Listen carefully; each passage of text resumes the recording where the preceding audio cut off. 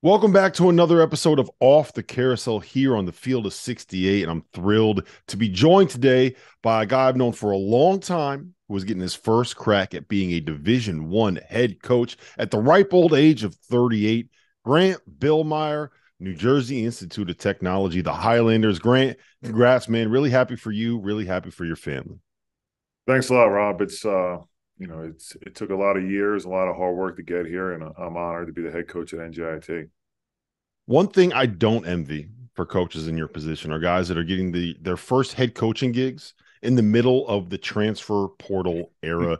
Take me through what it's like to step onto a campus for the first time where you have to re-recruit your roster and also go out and try to identify the players that can fit onto your roster that are at a different level than what you were recruiting before. Like I got to imagine the last month has been something of a whirlwind for you. Yeah, absolutely. Um, you know, it, I got an opportunity to come in and spend three weeks with our returning guys. I, I, was at every workout Monday through Friday. I really wanted to know what I have with the players, and more importantly, I wanted them to know, you know, how I was going to be on the court. Um, you know, my, my intensity, what I'm going to demand out of them. So th- those three weeks, it was really good, kind of to see who was going to be able to play for me in, in, my style and, and and who wasn't. And I think the guys that are remaining on the roster. I think they're all going to have great years, and I think they really turned the corner on those three weeks. And I know they're they're excited going home and you know working to, towards the future and looking forward to coming back in July. Um, and then and then the transfer portal, obviously, like you mentioned, you know, it's you're recruiting a different type of player than I was recruiting, you know, a month ago when I was at the University of Maryland. And um, and the academics here are, are very rigorous, and you know, you it's it's a different kind of kid that you know I, I was recruiting academically than in the past, and you know they have to be extremely uh, high GPA wise, and so so that's been a little different, but it's a challenge um, that I knew coming in, and something I really embraced, and it's it's it's been really good, and you know there, there there's no there's no gray areas. It's either you know he's a really good student and he can get in, he can do the work, or he's an average student and we're not going to be able to get him in. So it's uh it's been a very straightforward process. Could you have gotten into NJIT coming out of high school? Being that I went to St. Pat's and I had a pretty high GPA, yes. The, if if I went to a different high school, well, I, I, would have been a favor. That's for sure. It depends on how good they want it to be at basketball, huh? That, that's the that's the real answer. Um, what has been the the biggest adjustment going to an America East program? you you went from one of the leagues at the top of the sport to one of the leagues that's going to be a one bid league? I just think you you, you got to do everything you know yourself. You know, you you walk into Maryland and you win a few games. Um, you know, Coach Willard did a tremendous job getting the fan base back and excited, and I think it's a place he's going to be at for a while. But um, you know, looking over my shoulder is 3,500 seat arena. That's one of the best. I think should be one of the best home court advantages in college basketball. Now it becomes how do we get people in there? How, how do you sell tickets? How do, how do you make it a good home court advantage when you're at a place like you know Maryland? You're not necessarily thinking about that. How do you you know, get engaged with the students and you know make make it fun to come to NJIT basketball game? Um, you know, not not a lot of not a lot of tradition and history here. So how do you, how do you get recruits excited about NJIT? How, how do you how do you get them on campus? Because you know once you get them on campus, they leave here blown away because the Wellness and Events Center seven years old. It's the facilities are top notch you know, on the same level as a high major college basketball program. But I think it's just all about uh, all a matter of getting the kids here and then letting them see what, what what's in place and the vision that I have for this program along with along with my staff. So when you when you take over the program, right, you have a lot of guys on that roster that aren't necessarily the players that you brought in. You mentioned uh, talking about your style, how you want to play, how you want to coach how much of that is going to be adjusting to what you have right now? How much of that is going to be all right this is what i want to do. We're going to try to do it my way. Like how do you have how flexible do you have to be maybe in what you're running and what you're putting together and the plan that you're putting together for uh, this upcoming season? Yeah I, I think that so there's always a way you kind of envision like when i get my first job you know this is how i want my teams to look.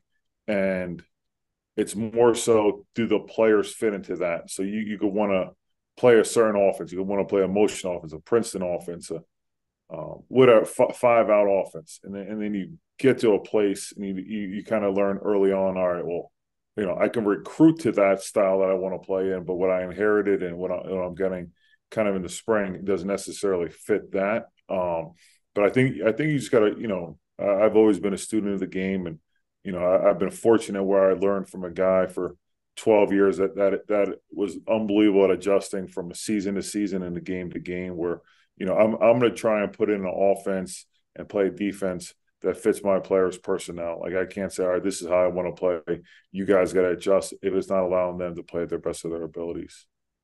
So, has there been any any adjustment that you weren't expecting moving over to being the head coach? Has it been kind of what you thought you'd be getting into into this role? Like, has it been anything that has surprised you? Uh, yeah, I mean, you're really just moving over one seat on the bench, but all of a sudden, all the responsibility comes back to you. Yeah, no, it's it, it's definitely a, it's definitely different. You know, every decision, um, every decision kind of falls on me. Um, but I, I knew that coming in, and when I said to someone, you know, you, you you sometimes get a job and you get a good feel, but you really don't know until you're a month in. And I remember leaving this place on Monday saying, "Man, this is this is a great job. This is everything I hope it would be, and then some." Sometimes you go for a job and then you know, you hear about guys in the first week of their job, they're like, oh man, I wish I could go back to being assistant where I was at. And, you know, there's certain things they didn't know or, or, or weren't inform, informed of during the interview process. But there has there hasn't been anything that's caught me by surprise. Only really good stuff, and there's there's tremendous people here in the athletic department that are you know really supportive of both me and the kids that are in the program. All right, so I did a bunch of research on your Wikipedia page. And yes, oh, you are important enough to have a Wikipedia page. And according to my math, you spent roughly 35 of your 38 years on this earth as a resident of New Jersey. You did a year in College Park. We don't have to talk about that, but you're back, man. Are you are you are you happy to be back? Like you're you're Jersey through and through.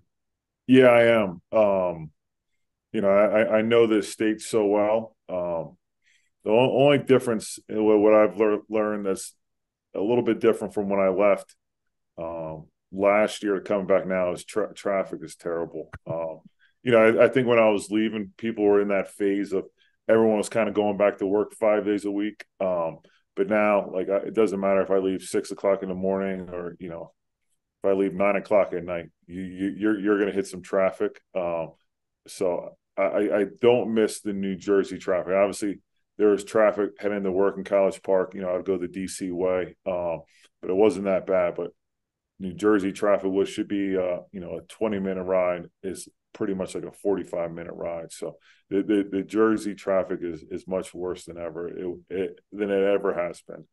You know it's bad when you're coming from DC and you're saying the traffic is wrong. I lived in DC for 10 years. I hated driving there. That's that's how you know it's bad. All right. Yeah. So we're we're gonna put some of your Jersey knowledge to the test here. I got some yeah. questions written out for you. All right. First and foremost, is it uh, Taylor ham or pork roll? Uh, definitely Taylor ham. I, Taylor I don't ham. know what pork roll is. What's the uh, what's the best way to eat it? On a, on a bagel, egg, and cheese sandwich.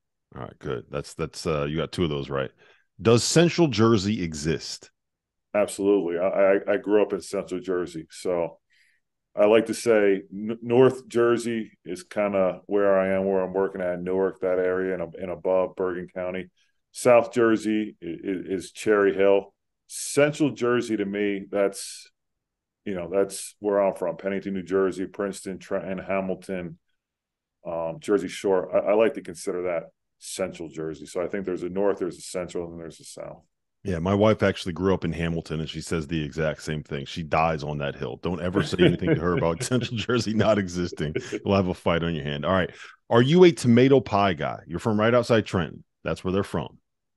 I am. Yeah, there, there there's not a pizza that I don't like, Rob. Um, Maryland, I, I, had more crab cakes and, and, and, seafood than I could ever ask for. Um, but I probably going back to eating pizza five times a week you'll you'll probably see me this time next summer at a recruiting event and be like, geez, Grant, you having enough pizza, I'll definitely put on about 25 pounds of all the pizza I'm going to eat over the next year. You're going to come back uh, being shaped like Jeff Goodman, which is never a good thing. All right. What do you call it in the summer when you go to the beach for a weekend? Um, Are you a down the shore guy? Yeah, uh, yeah, that, that would be the terminology. Yeah, head into the beach. Yeah, I, I can't I can't get on board with the down the shore stuff. I live I live right outside Philly now, and that's what everybody says. Fans yeah. have started saying it too. I can't I can't get on board with that. What's the best beach to go to at the Jersey Shore? Ooh, man, that's close. What, what, what, are we talking currently? Like Grant as a family man? Are we talking about Grant as like a 22 year old? Like, I, I would say right out of college, probably Manasquan because you you know you could go to Manasquan, you could do a nice little afternoon lunch at Leggett's, and then, and then you can make your way over to D'Jais at night. Um, now, as a 38 year old, you know, a father of two, I like to go a little bit further south to the Bay Head, Lavallette area. Um, that's that's where I'll spend my times, and I'll uh, I'll stay away from the Belmar night scene. Smart man. Last one I got for you: Wawa or Sheetz? Definitely Wawa. That's that's uh, yeah. I can't even say I've eaten at Sheetz. Not a lot of people have, man. Yeah. There's a there's a reason it has a nickname. Um, I'm not going to say it on here. Uh, serious question now though. You saw firsthand what Kevin Willard could do at Seton Hall at a program that maybe didn't have the same pedigree as some of the best programs in the Big East, that maybe didn't have the same level of resources that some of the other programs did. What did you what did you learn from that? And what did you learn from him that will allow you to do something to kind of grow NJIT, which I, I, I kind of view it as the same situation in the America East as Seton Hall was in the Big East. What, what is what can you take away from working for him and seeing the success that he had at the other school in Newark? Yeah, I mean, I think the biggest thing with Coach Willard is the the way he prepared for everything. It, it didn't matter whether it was an NCAA tournament game or you know a guarantee game against a team that was three and twelve he he he prepared every single day like his job was on the line. Um, his work ethic is insane. You know, his the time he puts into player development, and you know, you can look at the guys we've had. The guys we had our last, you know, six years at Seton We had five guys that wound up being on NBA roster at one point. Um, so just being be, being incredibly hands on with everything. Um, I just think he has an incredible. He's a very smart man, and his basketball knowledge is off the charts. So hopefully, some of that rubbed off onto me, and and uh, and leads me to have you know a, a good first season. Has he scheduled you yet, or is he afraid? Does he is he ducking the smoke? We all know that you were the the success behind Seton Hall. You were the brains behind that. Uh, I was not. I was not. That was not. We, we, had some good players. Um, Sandro, Myles, Angel, Isaiah, Desi, Jared Rhoden. So we, we had some really good players that that were, were helped him get that program to the next level. You know, Rob, we're we're not playing. When I got the job, uh, Miami and Wake Forest was scheduled. Uh, we got Miami opening night of the season. We play at Wake Forest later, and then I wanted to find two guarantee games that made sense. So we're playing Fordham, which you know if we don't hit traffic is 45 minutes away and then you know Tony Skinn is a, a very close friend of mine. Um, so we're also going to be playing George Mason. Um, you know, it's funny. Even even when people knew I was in the mix for the job, they were reaching out to me about games. And every day, a guy on my staff says, "Oh yeah, this school wants to play." I said, "That's good, but we better not be having this problem in three years. If everyone's, if every high major wants to play us, every mid major wants to play us in three years, that's an issue. You, you, you hear things about, you know, I was on a call and a really good mid mid major program was saying no one wants to play us. We can't get home and homes. We can't get guarantees. And if that's how your program looks in a few years, then that's a good problem to have, as opposed to everyone and their mothers calling, emailing, texting you say, "Hey, we got open dates. Can we can we make this work?" yeah, you don't want to be popular when it comes to putting it to, together those schedules. No, no, not at all. Well, listen, Grant, I appreciate the time in. Again, congratulations on the job. I only live an hour away, uh, depending on traffic. So I promise you, I will be up there for at least one game. I'm going to bring the family. We're going to make NJIT fans out of them. This has been Off the Carousel. Grant Billmeier, the New Jersey. Is it NJIT or New Jersey Institute of Technology? What are we going with? Um, We'll go with NJIT, you know, because you got kids, I got kids. My kids can't, you know, drop the whole New Jersey Institute of Technology, but I get a I get a good NJIT from both of them. Well, we'll turn them into Highlanders, man. Grant, appreciate you being here. Thanks a lot, Rob. Have a good one, man.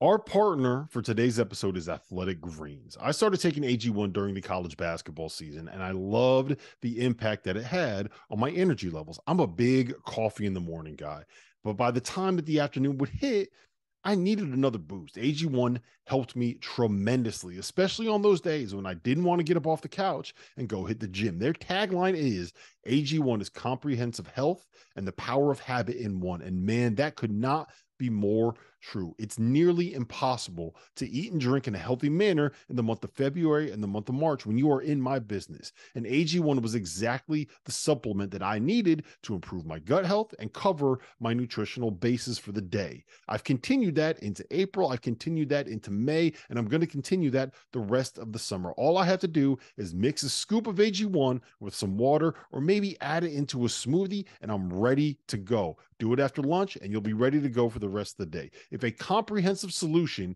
is what you need from your supplement routine, then Athletic Greens is giving you a free one year supply of vitamin D and five free travel packs with your first purchase. Go to athleticgreens.com backslash field68. That's field six eight F I E L D, the number six, the number eight, and you can get yours now. So check it out and help support this show. Thanks.